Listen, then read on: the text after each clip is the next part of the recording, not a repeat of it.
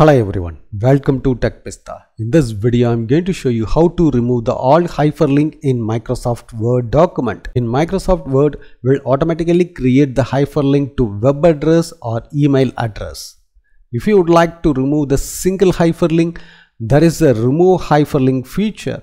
But if you would like to remove the hyperlink from the multiple pages, that is not an easiest process. How can you remove the all hyperlink in Microsoft Word document at once? Let's learn how you can do this. In my Word document, I have many hyperlinks. So if I would like to remove the hyperlink, just I have to right click and click on the remove hyperlink. It will be remove the hyperlink, but the problem is you have to do for the one by one in all the hyperlink if your page is more than 100 then it's not a easiest process. There is a feature in microsoft word. So first you have to select the all content in the word document. Then you have to press the control shift f9 you can check it out. All the hyperlink has been removed. But the problem is if you enter the web address it will be automatically added the hyperlink